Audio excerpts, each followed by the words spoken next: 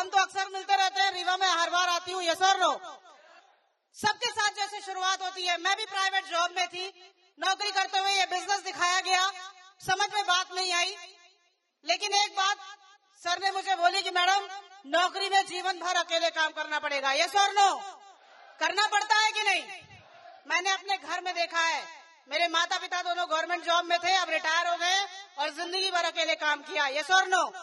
लेकिन प्राउड है आज ये बात बताते हुए कि आज उम्र भी कम है, लेकिन आज पूरे भारत के अंदर मेरे साथ 2800 लोग काम करते हैं। ये पावर है सेफ़ शॉप की। ये पावर है सेफ़ शॉप की। थैंक यू आपकी तालियों में मज़ा नहीं आ रहा मुझे ऐसा लगा जलन हो रही है आपको। जलन हो रही है?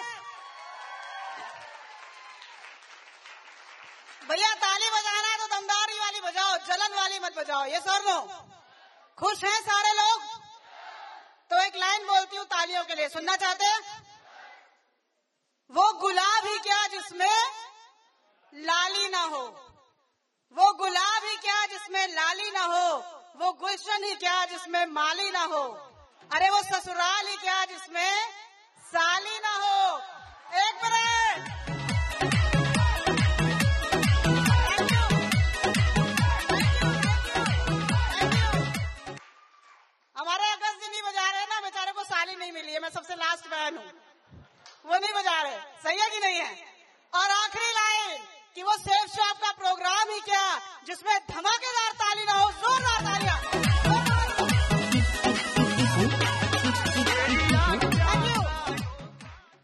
थैंक यू दोस्तों हम हमेशा मिलते रहते हैं। समय बहुत कम है, केवल एक लाइन।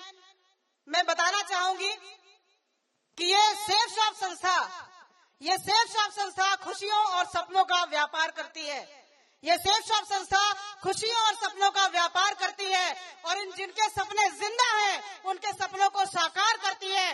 और ये नेहा त्रिपाठी आप सभी को आज इस प्रोग्राम में तहे दिल से नमस्कार करती है। थैंक यू थैंक यू एक बात कही जाती है, मुझे बड़ा सौभाग्य है ये बात बताते हुए कि एक लाइन कही जाती है कि बेटे तो भाग्य से मिलते हैं।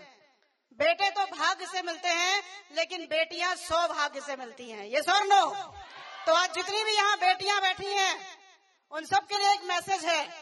ये सर नो इकलौती ऐसी संस्था जो आपको मान सम्मान दिला सकती है। ये सर नो क्योंकि दोस्त, इस सिस्टम से पहले मैंने छह साल जॉब किया है। और जॉब में जाने वाली लेडीजें क्या फेस करती हैं आप अच्छे समझते हो? ये सर नो हर तरह के लोग मिलते हैं वहाँ पर, सच है कि नहीं है? लेकिन मैं दावे के साथ कह सकती हूँ, इतना सुरक्षित परिवार, इतना शानदार परिवार अगर कहीं है तो केवल सेफ़ शॉप में है, दूसरी जगह नहीं है। जोरदार तालियाँ सेफ़ शॉप के बजाइए अचीवमेंट आप सारे लोग जानते ही हैं। इस सिस्टम ने मुझे बहुत सारी चीज़ें दी हैं। आज सर जैसा बोल रहे थे कि आस्था से करना है। आज रियल में अगर मैं बात करूँ तो मेरे नस नस में सेफ़ शॉप है। चौबीसों घंटे दिमाग में सेफ़ शॉप चलता है। कभी इससे अलग होने की बात तो दिमाग में आती ही नहीं है। यस और नो इस बिज़नेस ने मुझे क्या दिया है? जानना चाहते हैं? इस बिज़नेस ने मुझे एक अच्छी लाइफ दी है।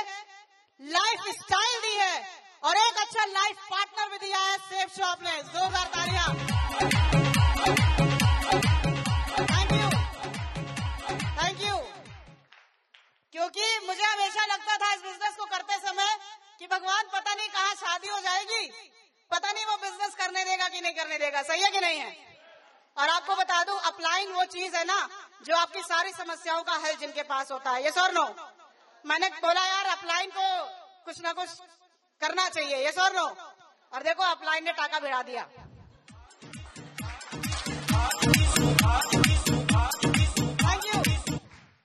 जितने भी माता पिता यहाँ बैठे हैं, जिनके बच्चे यहाँ काम कर रहे हैं, मैं बिल्कुल उनको आश्वस्त करना चाहती हूँ, आप बिल्कुल निश्चिंत हो जाइए। अगले चार से पाँच साल अपने बच्चों को आशीर्वाद दीजिए। एक दिन आएगा जब आपके बच्चे भी ऐसे बोल रहे होंगे। ये सर नो तो चाहते हैं सारे लोग? अपना एक मुकाम बनाना चाहते हैं? क्योंकि दोस्त, इस बिज़नेस में पैसा देख के तो सब आते हैं ये सर नो लेकिन एक और चीज़ जो मुझे अट्रैक्ट की थी, जिसने मुझे आकर्षित किया था, यहाँ का सम्मान, सही है कि नहीं है? मैं भी चाहती थी मेरा नाम चले, और यही कारण था कि मैंने मीडिया में जॉब करना शुरू किया था कि यार, कम से कम टीवी में फ़ोटो आएगी अपनी। समाचार पढ़ने वाले की फ़ोटो आती है कि नहीं? तो सतना का लोकल न्यूज़ चैनल था, मैंने उसको ज्वाइन किया कॉलेज के साथ साथ कि कम से कम फ़ोटो तो आएगी लोगों की टीवी में। ये सर नो तो पहचान बनाने की चाहत तो पहले दिन से थी। और बड़े प्यार से हर माँ बाप अपने बच्चे का नाम रखते हैं। ये सर नो मेरा भी नाम वही था। बचपन से माँ बाप ने बड़े प्यार से रखा था। नाम वही था, लेकिन इस नाम की पहचान नहीं थी दोस्त। पहचान अगर दी है किसी ने तो सक्सेस सपोर्ट सिस्टम और सेफ़ शॉप और ये फ्रंट लाइन के मेंटर्स ने दी है। ये सर नो आप चाहते हैं? पैसा, समय, सम्मान, सुरक्षा, ये चारों चीज़ें अगर आप जीते जी पाना चाहते हैं और कहते हैं कि मरने के बाद स्वर्ग मिलता है। लेकिन मैं बोलती हूँ, जीते जी अगर स्वर्ग का आनंद उठाना है तो एक बार निर्णय लीजिए सेफ़ शॉप में आइए, काम करिए, अपने परिवार के साथ स्वर्ग जैसा आनंद लीजिए। ये वो जगह है। थैंक यू तो बहुत सारी चीज़ें आज हमने सुनी, बहुत सौभाग्यशाली है हम आप, कि आज हमारे गुरुओं का हमको समय मिला। यस और नो और मैं अपने आप को पर्सनली बहुत सौभाग्यशाली मानती हूँ। ईश्वर ने मुझे सब कुछ दिया है। सौभाग्यशाली बेटी रही, सौभाग्यशाली पत्नी बनी, सौभाग्यशाली बहू हूँ, सौभाग्यशाली डाउन लाइन हूँ, सौभाग्यशाली अपलाइन हूँ और सब कुछ मतलब बढ़िया चल रहा है, धुआंधार। कैसा लगेगा अगर आपके साथ भी ऐसा हो तो? मैं खासकर इधर वालों से पूछना चाहूँगी अच्छा लगेगा? लेकिन एक बात बताइए, क्या कोई भी चीज़ इतनी आसानी से मिलती है? No no. बिना संघर्ष के जीवन नहीं होता। सच है कि नहीं है? कहते हैं, जीवन का नाम ही संघर्ष है। आपको संघर्ष करना पड़ेगा, अगर आप बड़े मुकाम में पहुँचना चाहते हैं तो। सच है कि नहीं है? और जब संघर्ष आता है, जब जब जीवन में, तब तब हम टूटते हैं ये और नो लेकिन उसी समय जो व्यक्ति टिका रहेगा, उसी समय जो व्यक्ति पॉजिटिव बना रहेगा, वो आगे जाएगा ये और नो क्या लगता है, आज अट्ठाईस सौ लोग ऐसे खड़े हो गए? मेहनत लगी होगी? पसीना बहाया होगा। खून के आँसू भी रोए हैं। सच है कि नहीं है? उस दिन रोए थे, इसलिए आज बैठ के काजू खाते हैं। सही है ना? थैंक यू थैंक यू लेकिन कभी निराश नहीं हुए। सबसे बड़ी बात, छोड़ के नहीं भागे।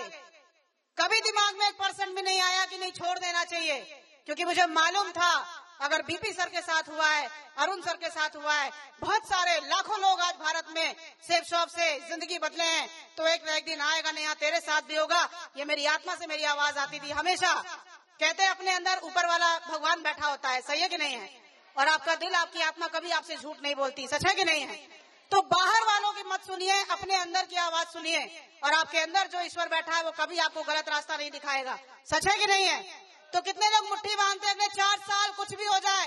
लोग कितना भी बोले, कितना भी व्यंग मारे, कितना भी हँसी उड़ाए, कितना भी मज़ाक उड़ाए, लेकिन एक बार, एक दिन ऐसा आना चाहिए आपकी लाइफ में, जब आपके नाम के आगे डायमंड लगेगा। पक्का है? कमिटमेंट करते हैं। तो मेरे भाई, एक बात आपको बता दूँ, एक बहुत अच्छी लाइन मैंने पढ़ी है कि घड़ी ठीक करने वाले तो बहुत सारे लोग मिलेंगे। क्या? घड़ी ठीक करने वाले तो बहुत सारे लोग मिलेंगे, लेकिन समय तो केवल परमात्मा ठीक कर सकता है। ये सर नो थैंक यू तो आज उस परमात्मा की वजह से ही आप यहाँ पर बैठे हैं। सच है कि नहीं है? ऐसे नहीं आ गए हो आप टिकट लेकर। उसकी मर्ज़ी थी कि आपकी ज़िंदगी बदलनी चाहिए, इसलिए आप यहाँ पर आए हैं। सच है कि नहीं है? आज से चार साल पहले मुझे भी ये मौका मिला था। अगर मैंने ना बोल दिया होता तो वही चार हज़ार की नौकरी में पड़े होते, साइकिल से चल रहे होते। सारा साइकिल का ब्रेक बदलने की औकात नहीं थी अपनी। सच बात है ये। महीनों बिना साइकिल की, बिना ब्रेक की साइकिल चलाते थे। ऊपर वाले का धन्यवाद, सही सलामत है। सही है कि नहीं है? यश और नो। तो मुट्ठी बांधते हैं सारे लोग। पक्का? तैयार है? हर स्थिति में पॉजिटिव रहेंगे। कभी किसी की नहीं सुनेंगे अपने अपलाइन के अलावा। तैयार है? तो एक छोटी सी स्टोरी से अपनी बात खत्म करूँगी। दोस्तों, एक एक ऐसा शख्स है, एक ऐसा व्यक्तित्व है, जो हमेशा हमारे घरों में विराजमान है और हमको उनसे सीखना चाहिए। कोई बताना चाहेगा? भगवान गणेश को सारे लोग जानते हैं? घर घर में मिलते हैं कि नहीं? मिलते हैं। हम रोज उनके सामने शीश झुकाते हैं, अपनी मनोकामना मांगते हैं। यस और नो गणेश जी से हमको बहुत सारी चीज़ें सीखने को मिलती हैं और वो हमारे लिए आज प्रेरणादायक बन सकते हैं अगर हमने उनसे सीख लिया तो। तैयार है? एक छोटी सी स्टोरी के माध्यम से बताती हूँ। आप सबको मालूम है कि भगवान गणेश का जन्म कैसे हुआ था? कैसे हुआ था? पार्वती जी ने उनको अपने हाथों से मिट्टी से बनाया था। सही है कि नहीं है? और मिट्टी से बनाने के बाद उसके अंदर प्राण डाले थे। यस और नो? अब उनको एक शिकायत हो सकती थी। आप सोचो, गणेश जी के जीवन में ऐसी ऐसी परेशानियाँ आई, लेकिन वो हमेशा पॉजिटिव रहे। जब उनका जन्म हुआ, उनके पिताजी नहीं थे उनके पास। सही है कि नहीं है? तो पहला मौका शिकायत का बनता है कि नहीं? कि जब मैं पैदा हुआ तो मेरा बाप ही नहीं था। यस और नो यस और नो लेकिन वो पॉजिटिव बने रहे। जब वो आठ साल के हुए, सही है कि नहीं? आठ साल के जब वो हुए, उनकी माता पार्वती स्नान कर रही थी और उनको बाहर खड़ा कर दिया। पहरेदारी के लिए किसी को अंदर मत आने देना। सही है कि नहीं है? सही है? उसी समय भगवान शिव आते हैं। अब जब आठ साल से जिस बच्चे ने अपने पिता को देखा नहीं है तो क्या वो पहचान पाएगा? No no. उसने मना कर दिया कि नहीं, अंदर जाना है, राव नहीं है, माता स्नान कर रही हैं। अब आप सोच के देखो, कोई बेचारा हस्बैंड आठ साल बाद आएगा वाइफ से मिलने और कोई रोके तो बुरा लगेगा कि नहीं लगेगा? सच है कि नहीं? है भगवान शिव के तीसरे नेत्र खुल गए, गुस्सा आ गया। और गुस्से में झापड़ भी मार सकते थे, कुछ भी कर सकते थे, लेकिन क्या किया? उठाया त्रिशूल और गर्दन। कर दिया।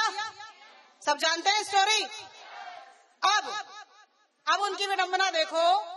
भगवान शिव थे, उनके पास इतनी शक्ति थी कि वही वाला जो सर है, जो कट गया, उसको उठा के लगा सकते थे। सही है कि नहीं है? लेकिन किसका सिर लगा दिया? हाथी का। हाथी का सिर केवल 200 किलो का होता है। कितना? अब एक छोटे से लड़के के ऊपर आठ 200 किलो का सर रख दोगे तो क्या होगा? बाकी जो बॉडी है, बेडॉल हो जाएगी। सही है कि नहीं है? तो अभी पेट निकल आया। गणेश जी को देखे हम लोग। सही है कि नहीं है? लेकिन तब भी उन्होंने शिकायत नहीं की। सच है कि नहीं? फिर बड़े हुए। अब अब आप एक बात सोचो। जवान हुए होंगे कॉलेज गए होंगे पढ़ने तो हाथी के सिर वाले को कोई लड़की लाइन मारेगी? नहीं ना? कैसी विडम्बना थी बेचारे के साथ? कोई लड़की किसी लड़की ने प्रपोज तक नहीं किया। सही है? तब भी उन्होंने शिकायत नहीं की पॉजिटिव बने रहे। अब जब बारी आई वाहन की, कि इनको कौन सा वाहन दिया जाए? तो उनके बड़े बेटे का नाम कार्तिकेय है। तो बड़े बेटे को दिया गया मोर। सही है? और 200 किलो के सिर वाले बेचारे गणेश जी को क्या दिया? चूहा। सही है कि नहीं है? पचास ग्राम का चूहा। सही है? मतलब नाइंसाफी पे नाइंसाफी हो रही है कि नहीं? लेकिन तब भी गणेश जी पॉजिटिव बने रहे। अब तो अति हो गई। जब बोला गया कि भैया तुमको पूरे ब्रह्मांड का चक्कर लगाना है अपने अपने वाहन से, दोनों भाइयों में कंपटीशन करा दिया। तब कार्तिकेय तो खुश हो गया अपने पास तो मोहर है, उड़ के चले जाएँगे। अब गणेश जी सोच में पड़ गया, ये पचास ग्राम का चूहा, इसके ऊपर मैं बैठ जाऊँगा तो यही निपट जाएगा। सही है कि नहीं? लेकिन दिमाग, गणेश जी के पास कहते हैं ना, बुद्धि है। उन्होंने क्या दिमाग लगाया? अपने माता पिता को बैठाया और बोले आप ही हमारे लिए ब्रह्मांड हैं और अपने माता पिता का चक्कर लगा लिया और जीत गए। सही है कि नहीं है? चलिए थैंक यू ये तो बात हो गई। अब अगली जब बात आई शादी की, सही है कि नहीं है? तो देखो नॉर्मली सारे देवताओं की एक एक बीवियाँ हैं कि नहीं? एक एक नहीं संभाल पा रहे। बेचारे गणेश को दो दो दे दी रिद्धि और सिद्धि।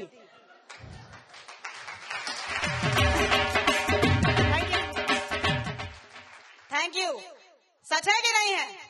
यानी अगर उनकी लाइफ देखा जाए तो समस्या पर समस्या थी कि नहीं?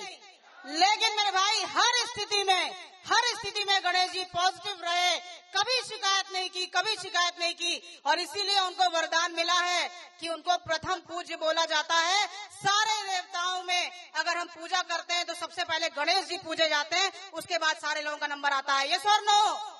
तो एक बार उस गणेश भगवान के लिए जोरदार ताली बजाओ यार। थैंक यू थैंक यू अब हमको सीखने को क्या मिलता है उनकी लाइफ से कि अगर हम हर स्थिति में पॉजिटिव बने रहे तो एक दिन आएगा, वो दिन आपके लिए ऊपर वाले ने तय करके रखा है, जिस दिन आपके गले में काला पट्टा पड़ने वाला है डायमंड शिप का, लेकिन उस दिन तक आपको टिकना पड़ेगा। तैयार है? और वो दिन आएगा जब आप भी ऐसे पूजे जाओगे, सैकड़ों मालाएँ पड़ेंगी, फूल पड़ेंगे, आपके परिवार को आप पे गर्व होगा। तैयार है करने के लिए? मेहनत करनी पड़ेगी काम करना पड़ेगा। तैयार हैं? समस्या हर जगह आएगी।